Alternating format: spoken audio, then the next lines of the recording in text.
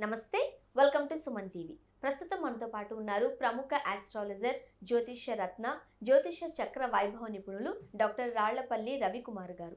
నమస్తే గురువు గారు నమస్కారం అమ్మ. గురుగారు రెండు వేల ఇరవై నాలుగు మార్చి నెలలోని ద్వాదశ రాశుల్లో వివిధ రాశుల వారికి ఏ విధంగా ఉందో మనం తెలుసుకుందామండి.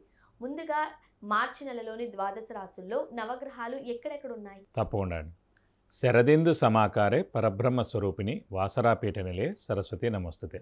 సుమన్ టీవీ ప్రేక్షకులకి నమస్కారం. తాకట్టులో ఉన్న బంగారాన్ని విడిపించి ఆ రోజు ఆన్లైన్ రేటుకే మేము కొంటాం. Sharma gold company. నవగ్రహాలు ద్వాదశ రాశుల్లో మార్చి నెలంతా ఎక్కడ ఉన్నాయో ఇప్పుడు తెలుసుకుందాం. ముందుగా సూర్యుడు వచ్చేసి మనకి మీనరాశిలో ఉన్నారు. అలాగే మనకి బుధుడు వచ్చేసి అదే మీనరాశిలో నీచ స్థానంలో ఉన్నారు. నెక్స్ట్ గురువు వచ్చి మనకి మేషరాశిలో ఉన్నారు. అలాగే రాహు మనకి మీనరాశిలో ఉన్నారు. అలాగే కేతు వచ్చేసి మనకి కన్యారాశిలో ఉన్నారు. ఇక శుక్రుడు మనకి కుంభరాశిలో ఉన్నారు. అలాగే శని స్వస్థానమైన కుంభరాశిలో ఉన్నారు. అలాగే కుజుడు కూడా మనకి కుంభరాశిలో ఉన్నారు. ఓవరాల్గా చూసుకుంటే కనుక కుంభరాశి మీనరాశిలో మూడు మూడు గ్రహాలు చప్పున ఉన్నాయి. కాబట్టి ఈసారి కొంచెం జాగ్రత్తగానే చెప్పుకోవాలండి. మరి కర్కాటక రాశి వారికి ఈ నెలంతా కూడా ఏ విధంగా ఉండే అవకాశం ఉంటుందండి? చక్కటి పరిష్కార మార్గాలు సూచిస్తారా? తప్పకుండా అమ్మ. కర్కాటక రాశి అనగానే మనకి పునర్వసు నాలుగో పాదం పుష్యమి ఒకటి రెండు మూడు నాలుగు పాదాలు ఆశ్లేష ఒకటి రెండు మూడు నాలుగు పాదాలు. ఈ నక్షత్రాల సమూహం వచ్చేసి మన కర్కాటక రాశిలోకి వస్తుంది. కర్కాటక రాశి అనగానే మనకి ఫస్ట్ గుర్తొచ్చేది ఎవరంటే రాముల వారు. పునర్వసు నాలుగో నక్షత్రం నా సారీ పునర్వసు నాలుగో పాదంలో ఆయన జన్మించారు. కర్కాటక రాశి అలాగే ఆయన లగ్నం కూడా కర్కాటక లగ్నం అన్నమాట. కాబట్టి ఆయన స్టాంప్ ఉండిపోయింది కర్కాటక రాశి. అందుకే కర్కాటక రాశి వారు సాధారణంగా సౌమ్యులు సాఫ్ట్గా ఉండడం పేషెన్స్ వహించడం ఎలాంటి ఒడిదుడుకులైనా తట్టుకోగలగడం మంచితనం హెల్పింగ్ నేచర్ అన్నీ కూడా ఉంటాయండి. అందుకే చూడండి అన్ని గ్రహాలకి శత్రువులు ఉన్నారు కానీ కర్కాటక రాశి అధిపతి చంద్రుడికి మటుకు ఎవరు శత్రువులు లేరు. సో ఆయన స్టాంప్ అనుకోండి ఆయన ఇది అనుకోండి ఏదైనా అనుకోండి. కాబట్టి కర్కాటక రాశి వారికి మీ- ముఖ్యంగా అంటే జనాల సహాయ సహకారాలు కూడా ఎక్కువగా చేస్తారు కర్కాటక రాశి వారు. కాబట్టి ఈ కర్కాటక రాశి వారి ప్రస్తుతం మటుకు గురుబలం పరిపూర్ణంగా ఉందండి. అలాగే ముఖ్యంగా మనం చూసుకుంటే కనుక రాహుకేతుల బలం కూడా పరిపూర్ణంగా ఉంది. ఒక అష్టమ శని మటుకు నడుస్తున్నాడు. అదే అన్నాం కదండి చంద్రుడికి ఎవరు? శత్రువు లేరు. అష్టమ శని నడుస్తున్నా కూడా ఒక థర్టీ టు ఫార్టీ పర్సెంటే ప్రాబ్లమ్స్ ఉంటాయి. మిగతా రాశులు ముఖ్యంగా మేషరాశి కానీ వృశ్చిక రాశి కానీ సింహరాశి కానీ ఈ మూడు రాశులకు మటుకు ఎప్పుడు అర్ధాష్టమ శని వచ్చినా అష్టమ శని వచ్చినా ఏలినటి శని వచ్చినా విపరీతమైన నష్టం చేకూరుస్తుంది. అటు ధనరీత్యా కానీ ఉద్యోగరీత్యా కానీ ఆరోగ్యరీత్యా కానీ అటు వైఫ్ అండ్ హస్బెండ్ రీత్యా కానీ అటు ఫ్యామిలీలో కానీ పెద్ద పెద్ద గొడవలు రావడం అన్నీ కూడా ఏదో ఒకటి సెపరేషన్. ఇల్లు మారిపోవడం భార్యాభర్తలు దూరంగా ఉండడం ఉద్యోగరీత్యా వేరే ఊరికి వెళ్ళి జాబ్ చేయడం ఇలాంటివన్నీ కూడా జరుగుతాయి మనం ఎందుకంటే శనికి శత్రువులు రవి మరియు కుజుడు. రవి ఏ రాశికి అధిపతి? సింహరాశి. కాబట్టి సింహరాశి అస్సలు పడదు. ఈ ఏలినాడు శని కానీ అర్ధాష్టం శని కానీ అష్టం శని కానీ వచ్చినప్పుడు. అలా మిగతా ఏంటి? కుజుడు పడదన్నాను. మేషానికి వృశ్చికానికి అధిపతి కుజుడయ్యాడు. కాబట్టి మేషరాశి వారు కానీ కుజ వృశ్చిక రాశి వారికి కానీ ఏలినాడు శని కానీ అర్ధాష్టమ శని కానీ అష్టమ శని కానీ వచ్చినా కూడా విపరీతమైన కష్టాలు అనుభవించక తప్పదన్నమాట సాధారణంగా. కానీ ఈ కర్కటక రాశి వారికి అంటే చంద్రుడికి శత్రువులు ఎవరు లేరు కాబట్టి థర్టీ పర్సెంటే ఎఫెక్ట్ ఉంటుంది ఈ అష్టమ శని నడుస్తున్నా.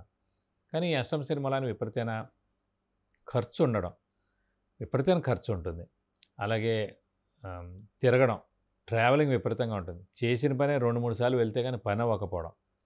అలాగా చిన్న చిన్న మాటలు పడడం ఇలాంటివన్నీ కూడా చిన్న చిన్నవి ఉంటాయి కానీ కొన్ని పడక తప్పదు. ఎందుకంటే ఎవరికైనా సరే అది అనుభవించక తప్పదు. ఒకవేళ వాళ్ళ జాతక రీత్యా మిగతా గ్రహాలు చాలా బాగుండి వాళ్ళ మహర్దశలు అంతర్దశలు చాలా బాగుంటే కనుక వాళ్ళకి ఇంత ఇబ్బంది ఉండదు. ఎక్కడైనా రూల్ ఒకటే గుర్తుపెట్టుకోండి. కొంతమంది అంటారు ఇక మరి వాడికి అర్ధాష్టంశ నడుస్తుంది నాకు అర్ధాష్టంశ నడుస్తుంది వాడికి ఎందుకు బాగుంది నాకు ఎందుకు బాగాలేదు? ఎప్పుడైతే నక్షత్రం మారిందో దశలు కూడా మారిపోతాయి. వయసు బట్టి దశలు మారిపోతాయి. ఆ దశలు మారినప్పుడు ఏ గ్రహం అయితే దశ నడుస్తుందో ఆ గ్రహం చాలా బాగున్నాడు అనుకోండి జాతకంలో ఇంకా చాలా బాగుంటుంది. సాధారణంగా రాశులే కంపేర్ చేసుకుంటూ ఉంటారు. మీది కర్కాటక రాశి నాది కర్కాటక రాశి. మరి మీకు బాగుంది నాకెందుకు ఆ. బాగాలేదు అనుకుంటాం మరి అందులో మూడు ఉన్నాయి కదా పునర్వస నక్షత్రం ఉంది పుష్యమి ఉంది ఆశ్లేష నక్షత్రాల మీద కూడా ఆధారపడి ఉంటుంది. ఆధారపడింది ఎందుకంటే పునర్వస నక్షత్రంలో పుట్టినవాడు గురు మహదశతో స్టార్ట్ అవుతుంది. పుష్యమి నక్షత్రంలో పుట్టినవాడు శని మహర్దశతో స్టార్ట్ అవుతుంది. అలాగే మనకి ఆశ్లేష నక్షత్రంలో పుట్టినవాడికి బుధ మహదశతో స్టార్ట్ అవుతుంది. కాబట్టి మహర్దశలు అంతర్దశలు అలాగే ఈ మహర్దశ అంతర్దశలకు సంబంధించిన గ్రహాలు ఏ ఏ స్థానాల్లో ఉన్నాయి? ఇవన్నీ కూడా చాలా డీటెయిల్గా చూడాలండి. అందుకే జాతకం అంతా వేరు గోచారం అంతా వేరు. జాతకం ఫిఫ్టీ పర్సెంట్ అయితే గోచారం ఫిఫ్టీ పర్సెంట్. జాతకంలో ఏం చూడాలంటే ముఖ్యంగా విద్య ఉందా లేదా? ఉద్యోగం వస్తుందా లేదా? వివాహం అవుతుందా లేదా? సంతానం ఉంటుందా లేదా? అనేది చెప్పగలం. కానీ ఏ సంవత్సరం ఉద్యోగం వస్తుంది ఏ సంవత్సరం వివాహం అవుతుంది ఏ సంవత్సరం ప్రమోషన్ వస్తుంది ఏ సంవత్సరం మనకి సంతానం కలుగుతుంది అనేది మటుకు గోచారిచ్చే టైం అంతా కూడా మనకి గోచారం ద్వారా తెలియబడుతుంది. ముఖ్యంగా మరి కర్కాటక రాశి వారికి మార్చి నెలలో ఉద్యోగస్తులకి ఎలా ఉండే అవకాశం ఉందంటారు? ఉద్యోగస్తులకి బాగానే ఉందండి. ఎందుకంటే ముఖ్యంగా గురుబలం పరిపూర్ణంగా ఉంది. కానీ శని బలం కొంచెం తక్కువగా ఉంది అష్టమ శని నడుస్తుంది కాబట్టి వీళ్ళకి ఉద్యోగ మార్పు కానీ ఇల్లు మార్పు కానీ అంటే వేరే ఊరు వెళ్ళి కొత్త జాబ్ జాయిన్ అవ్వడం కానీ లేదంటే ట్రాన్స్ఫర్ అవ్వడం కానీ ఏనా ఇలాంటి ఏదైనా సరే మెయిన్గా చేంజ్ అయితే మటుకు ఖచ్చితంగా ఉందని చెప్పుకోవాలండి. అండ్ ముఖ్యంగా ఈ రాశి గల వారికి ఆరోగ్యం అండి. ఆరోగ్యం మంచిగా ఉండే అవకాశం ఉందా? అంటే ఆరోగ్య కారకుడు మెయిన్ ఆయుష్ కారకుడు కూడా శని. అలాంటి శని అష్టమంలో ఉన్నాడు కాబట్టి చిన్న చిన్న అనారోగ్యాలే ఉంటాయి. పెద్ద పెద్ద అనారోగ్యాలు ఏమి ఉండవు. కాబట్టి అంత భయపడాల్సిన అవసరం లేదు.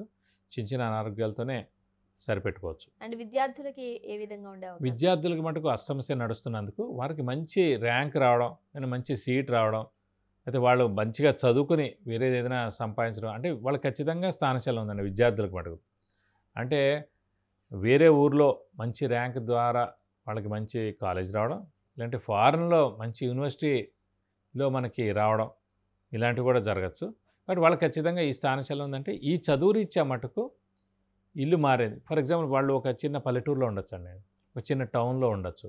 కానీ మంచి కాలేజు మంచి యూనివర్సిటీ అనేది మరి సిటీస్లోనే ఉంటాయి కదా. సో వేరే రాష్ట్రం కూడా ఉండొచ్చు అన్నమాట సో ప్లేస్ మారే ప్లేస్ మార్పు ఎందుకంటే అష్టమశని అంటేనే స్థానచలనం ఇల్లు మార్పు కానీ ఉద్యోగస్తులకైతే ఉద్యోగ మార్పు అంటున్నాం ట్రాన్స్ఫర్ అంటున్నాం కొత్త జాబ్ ఎత్తుకోవచ్చు అంటున్నాం వేరే ఊర్లో జాబ్ అంటున్నాం. ఇవన్నీ జరగకపోతే ఇల్లు మారాలంటున్నాం. సో విద్యార్థులకి ఏంటి ఖచ్చితంగా? ఇల్లే మారాలని లేదు. ఖచ్చితంగా ఇక్కడ మనకి వేరే యూనివర్సిటీలో జాయిన్ అవ్వడం కానీ ఊరికి రావడం కానీ ఇవన్నీ కూడా జరిగే అవకాశాలు ఎక్కువగా ఉన్నాయి. అండ్ ముఖ్యంగా కొంతమందికి అంటే ఆ, వివాహం అయిన వాళ్ళకి లేకపోతే వివాహాల కోసం ప్రయత్నిస్తున్న వాళ్ళకి ఎలా ఉండే అవకాశం ఉందంటారు? వివాహానికి మటుకు సరైన సమయం చెప్పాలి. ఎందుకంటే గురుబలం పరిపూర్ణంగా ఉంది కాబట్టి ఖచ్చితంగా వివాహం అవుతుందండి. ఇంకోటి అంటే ముఖ్యంగా మెయిన్ పాయింట్ అంటే అర్ధాష్టమ శని కానీ అష్టమ శని కానీ ఏలినాటి శని కానీ నడుస్తున్నప్పుడు ఆడపిల్లలకైతే వివాహం ఖచ్చితంగా అవుతుంది ఆ సమయాల్లో. గురుబలం లేకపోయినా. ఎందుకంటే ఏలినాటి శని కానీ అర్ధాష్టమ శని కానీ అష్టమ శని కానీ అంటేనే స్థానచలనం.